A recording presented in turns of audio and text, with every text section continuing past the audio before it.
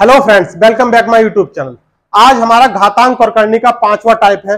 उम्मीद करता हूँ कि इसके सारे टाइप आपको बहुत अच्छे से समझ में आ रहे होंगे।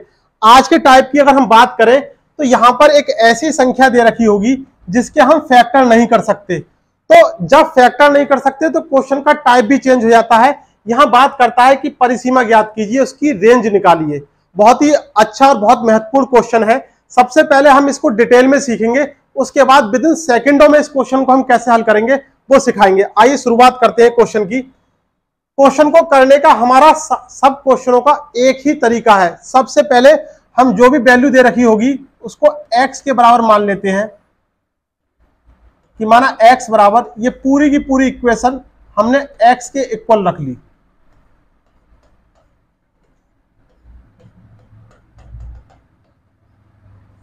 दोनों और स्क्वायर करने पर। एक ही तरीके से हमें सारे के सारे टाइप करने हैं। डिटेल में सीखने का एक फ़ायदा यह होता है कि क्वेश्चन को हमें समझ में आ जाता है कि ट्रिक कहाँ से निकल के आती है। क्योंकि इस टाइप के प्रश्नों की सारी की सारी ट्रिक जो है डिटेल में से ही, कहीं ना कहीं इसके सॉल्यूशन से ही निकल कर आती है। क्या करा? एक्स स्क्वायर बराबर। जब इसका पूरे का स्क्वायर किया तो एक रूट वैल्यू ये हट जाएगी यहाँ से। वन प्लस, और बाकी सेम, ऐसे का ऐसे ही लिख देंगे।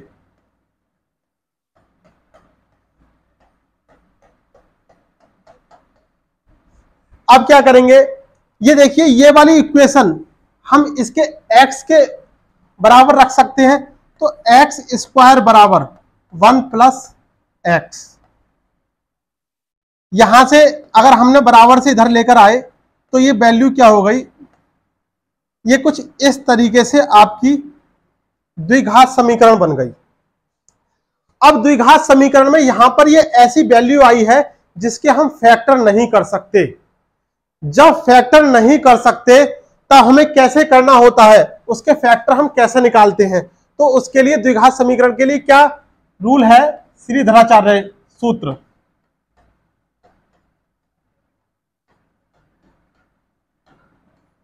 अभी एक बार हम इसको डिटेल में समझ लें, उसके बाद विद इन सेकेंडों में, यकीन मानिए विद इन सेकेंडों में आपको हल करके दिखाऊँगा। माइनस का b plus minus b square minus four a c divided by two a ये हमारा रूल है। अब देखिए, यहाँ पर ये वैल्यू समझिए सबसे पहले। देखिए, ये इसके आगे एक्स स्क्वायर की वैल्यू क्या हो गई? एक। यहाँ पे कुछ नहीं दे रखा वैल्यू एक हो गई। और ये अपने आप में पूरी की पूरी कांस्टेंट वैल्यू है। ये एक है। तो ये ए हो गया, ये हमारा बी हो गया, और ये हमारा सी हो गया। देखिए बी की वैल्यू हमेशा एक रहेगी इस टाइप के क्वेश्चन के लिए। बी की वैल्यू हमेशा एक रहेगी प्लस या माइनस वो चिन्ह के अकॉर्डिंग रहेगा। यहाँ पर देखिए बी की वैल्यू क्या है? माइनस का एक। ए की वैल्यू देखिए क्या है? प्लस का एक। और सी अपने आप में पूरा क्या है? कांस्टेंट है। सी कांस्टेंट हो गया। अगर हम इस फार्मूले में रखें, क्योंकि हमें इस फार्मूले को छोटा करना है।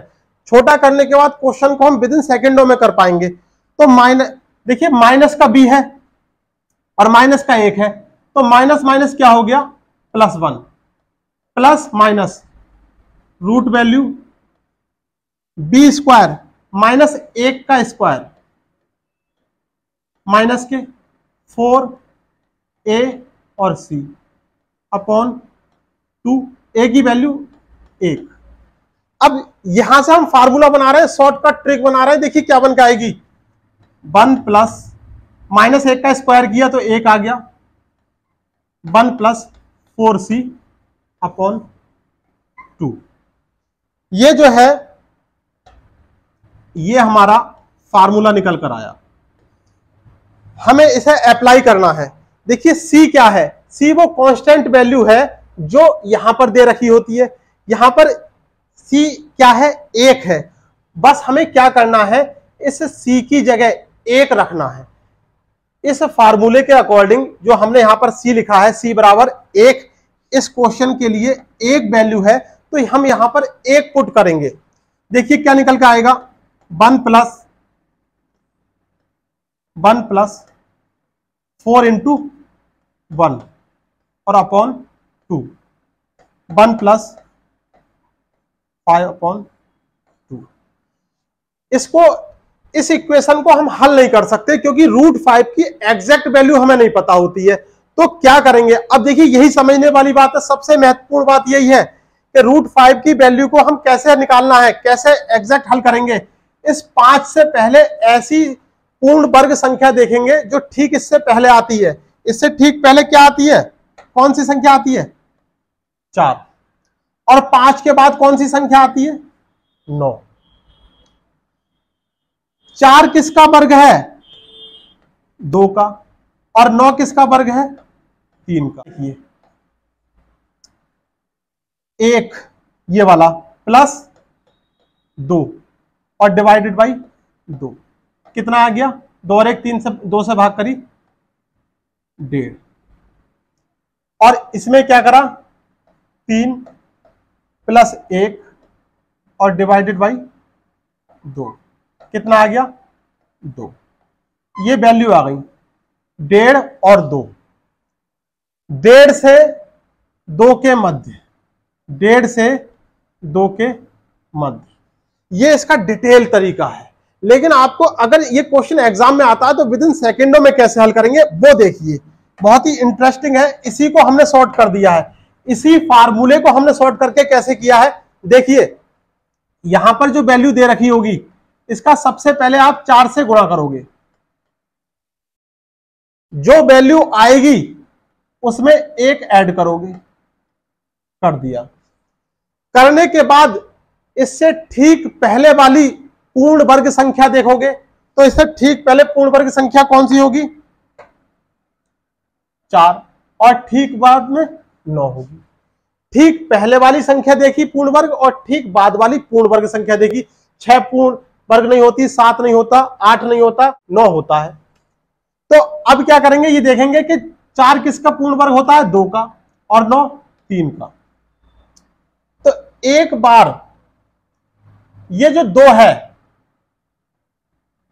ये एक में जोड़ दो और आधा कर दो। कितना आ गया? डेढ़। और एक बार ये जो तीन दे रखा है, ये एक में जोड़ दो और आधा कर दो। दो। तो डेढ़ से दो के मध्य। यानी केवल सेकेंडों में क्वेश्चन को हल कर सकते हैं। अगर हम बात करें कि इस फॉर्मूले को अगर ये कब लगाना है, ये कब हमें प्रयोग करना है, जब हमारे पास क्वेश्चन प्लस की वैल्यू का दे रखा होगा, तब हमें डायरेक्ट यहाँ पर इस तरीके से करना है। अगर मान लीजिए यही क्वेश्चन माइनस का होता तो केवल और केवल हमें इतना अंतर करना था कि ये वाली जो वैल्यू है ये माइनस की हो जाएगी। माइनस का होने का मतलब ये है कि ये लास्ट में जो हम एक ऐड कर रहे हैं, ये ऐड ना करके माइनस का प्रयोग करेंगे, घटा देंगे। आपके सामने आंसर आ जाएगा। आइए इसके एक दो क्वेश्चनों को जल्दी से हल करके देखते हैं देखते हैं कितने कम समय में हम इस क्वेश्चन को हल कर पाते हैं।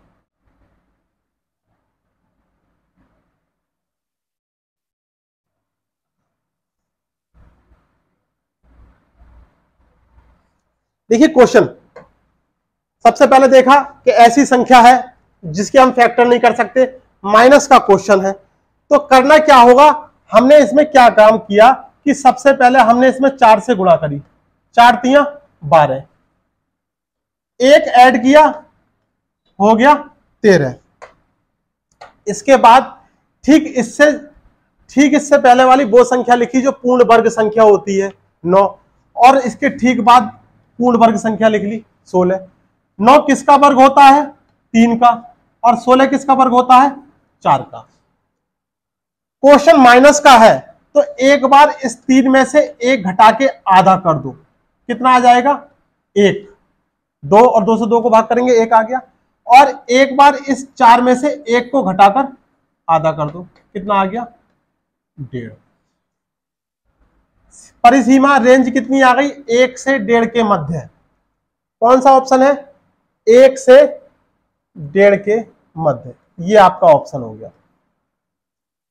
माइनस के लिए हमें लास्ट में एक घटा देना है। माइनस वाले क्वेश्चन के लिए लास्ट में एक घटा दो और प्लस वाले क्वेश्चन के लिए एक जोड़ दो। आइए क्वेश्चन और देखते हैं प्लस का। फाइव सबसे पहले देखा, यहाँ पर ऐसी वैल्यू दे रखी है जिसके फैक्टर नहीं कर सकते और रेंज की बात कर रहा है। कुछ भी पूछ सकता है रेंज भी कह सकता है और परिसीमा भी कह सकता है। हमने क्या काम किया? सबसे पहले हमने चार से गुणा कर दिया। चार से गुणा करना है, आपको लॉजिक पता चल गया कि चार से गुणा क्यों करना है। पाँच चौक बीस, इसके बाद एक ऐड करना है। एक ही ऐड करना है। इक्कीस। यहाँ पर देखा हमने कि ठीक इससे पहले कौन सी पूर्ण वर्ग संख्या आएगी? सोलह। और ठीक बाद में पच्चीस। सोलह किसका स्क्वायर होता है? चार का और पच्चीस पाँच का। क्वेश्चन प्लस का है तो चार में एक जोड़ दिया और आधा कर दिया। पाँच का आधा, ढाई। और पाँच में एक जोड़ दिया और आधा कर दिया, छह का आधा, तीन। परिसीमा कितनी निकल के आ गई? ढाई से तीन के मध्य। कहाँ है ढाई से तीन के मध्य? देखिए, ये है। चुटकियों में हल हो जाएँगे क्वेश्चन इस टाइप के। एक ये क्वेश्चन जल्दी से आपको इसका आंसर बताना है। कमेंट बॉक्स में जाकर जल्दी से इस क्वेश्चन का आंसर बताइए। बहुत ही इजी क्वेश्चन होते हैं। बस यहाँ पर प्लस और माइनस का ख्याल रखना होता है और उसके बाद कुछ भी नहीं करना है। बहुत बड़ा क्वेश्चन है। डिटेल में अगर हम इसके जाएँगे तो आप खुद देखिए डिटेल कितनी बड़ी है इस क्वेश्चन इस टाइप के क्वेश्चनों की। तो ऐसे क्वेश्चनों को हमें शॉर्ट में कहीं ना कहीं इसकी जो ट्रिक निकल कर आई है, वो सॉल्यूशन से ही है। तो हमें इन क्वेश्चनों को बहुत ही आसानी से किस तरीके से हल करना है, वो आपने देखा। ये क्वेश्चन जल्दी से आपको कमेंट बॉक्स में जाके इसका आंसर दीजिए। बहुत ही इजी क्वेश्चन है। कुछ भी नहीं करना, बस माइनस को देखना है और जो तरीका बताया है, उस तरीके से आप कर सकते हैं। आज के लिए बस इतना ही। उम्मीद करता हूँ कि आपको घातांक और करनी का हर टाइप बहुत अच्छे से समझ में आ रहा होगा। जल्दी मिलते हैं घातांक और करनी के नेक्स्ट टाइप के साथ। धन्यवाद।